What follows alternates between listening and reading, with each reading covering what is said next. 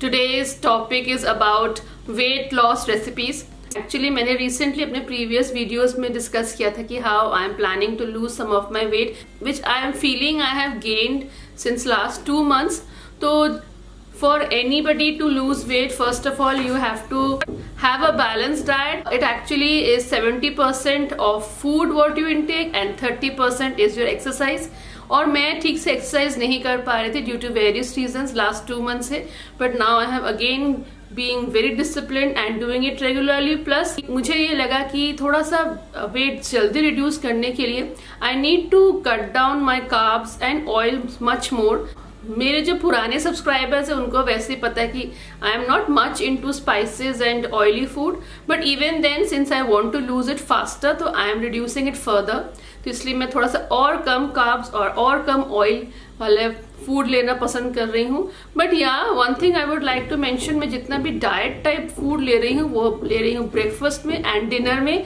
Otherwise lunch I am keeping it normal either if there is something non veg तो along with that a little bowl of rice some salads and veggies इस type का combo मेरा हमेशा से रहा है lunch so today I am sharing very simple and very easy but equally delicious and very yummy to eat three recipes तो चलिए और बात नहीं, बढ़ा के सीधे डाइव करते हैं वीडियो पे. And let's start cooking Here I have taken chicken mince 500 grams.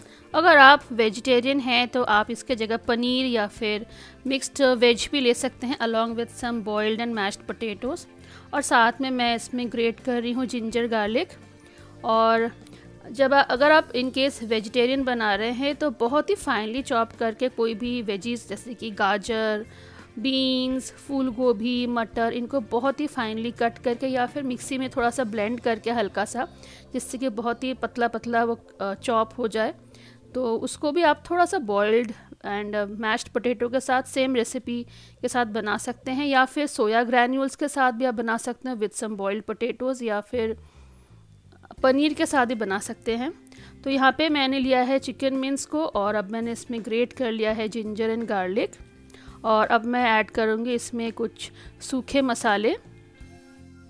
और अब मैं ऐड कर रही हूँ salt to taste turmeric powder और रेड चिली पाउडर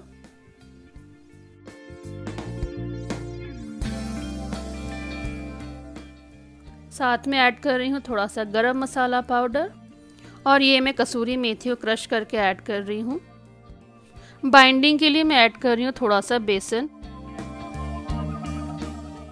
और बस इनको अब अच्छे से मिक्स करना है, जिससे कि सारे मसाले आपस में इनकॉर्पोरेट हो जाए along with the chicken mince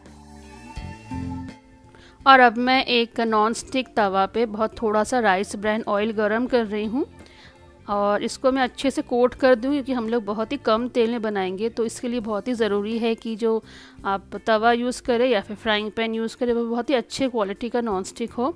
and फिर मैं साइड में, साथ में ये है ओट्स ब्रेड, इनको मैं हार्ड टोस्ट करूँगी। आप चाहे तो टोस्ट में भी कर सकते हो। और मैंने हाथ को थोड़ा सा गीला कर लिया है कबाब्स को या टिक्की को बनाने के लिए अदरवाइज़ वो चिपक जाता है हाथ में। तो जब भी आप चिकन टिक्की या चिकन कबाब बनाएँ तो हमेशा हाथ को पहले पानी के साथ गीला कर लीजिए तो कभी चिपकता नहीं है। और अब मैं इन टिक्कीज़ को दोनों तरफ़ से गोल्डन ब्राउन होने तक फ्राई कर लूँगी। और एक एक साइड फ्राई करने के लिए मुझे फ़ाइव टू सिक्स मिनट्स ही लगे थे।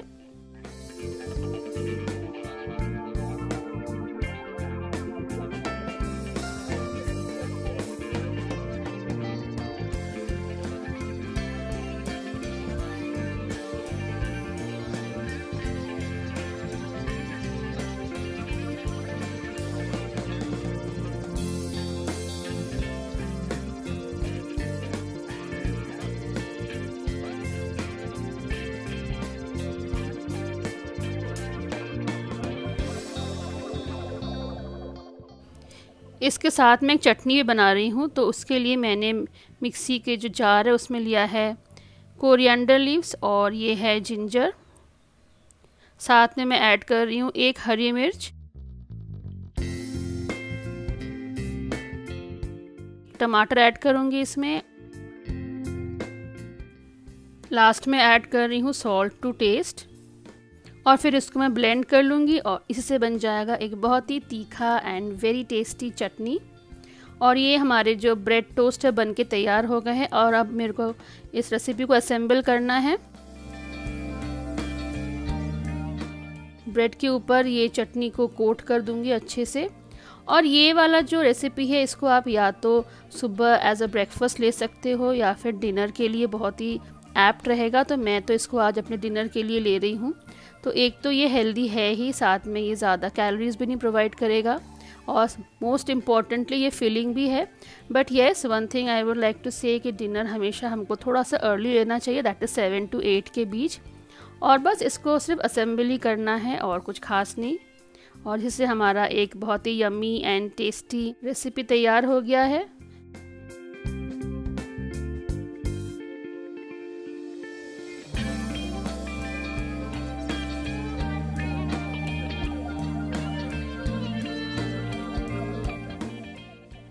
इस रेसिपी के लिए मैंने लिया है मिक्स्ड एंड सोक्ड चना और साथ में ये है सूखे मटर। आप चाहो तो दूसरा काबली चना ये सब भी ले सकते हो।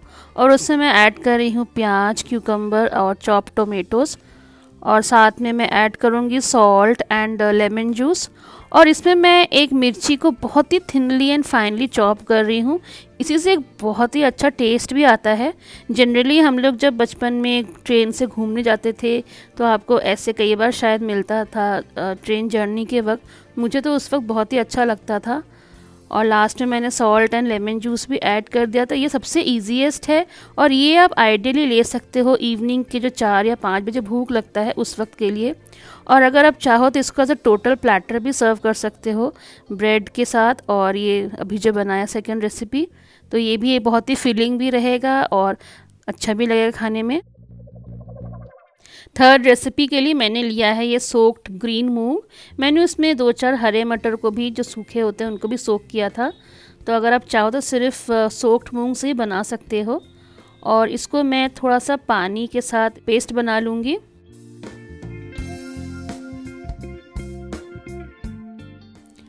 और ये हमारा बैटर रेडी हो गया है। और इसमें अब मैं ऐड करूँगी थोड़ा सा सॉल्ट टू टेस्ट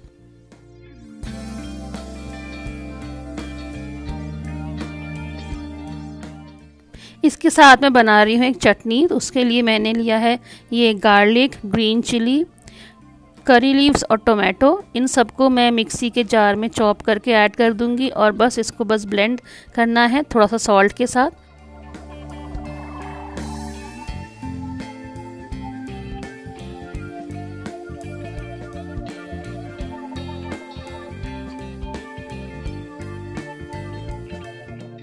मूंग दाल चीला बनाने के लिए मैं अभी एक तवा को गरम कर रही हूँ। ये भी बहुत ही अच्छा नॉन स्टिक तवा लेना है।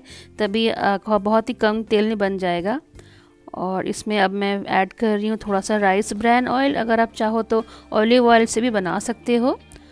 और बस उसमें मैं एक लैडल जो हमने बैटर बनाया है, उसको स्प्रेड कर दूँगी।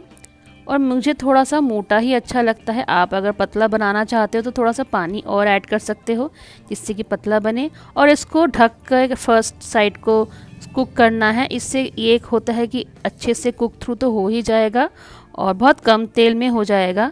और जैसे एक साइड थोड़ा सा कुक हो जाए, उसके बाद इसको पलट देना है और बस इसी से हमारा जो चीला है, मूंग दाल का वो रेडी हो जाएगा। तो ये है हमारा थर्ड रेसिपी जो कि बहुत फिलिंग भी है और हेल्दी भी है। इसको भी हम एज ब्रेकफास्ट लंच या एज डिनर में ले सकते हैं If you have liked my video, so please subscribe to my channel if you haven't subscribed and please do hit the notification bell too and don't forget to like and share my videos with your friends, families and relatives जिससे कि और लोगों तक मेरे videos पहुँच सके तो यही था मेरा आज का वीडियो। मिलती हूँ बहुत ही जल्दी आपके साथ एक और नए वीडियो या वीलॉग में। तब तक के लिए बाय टेक केयर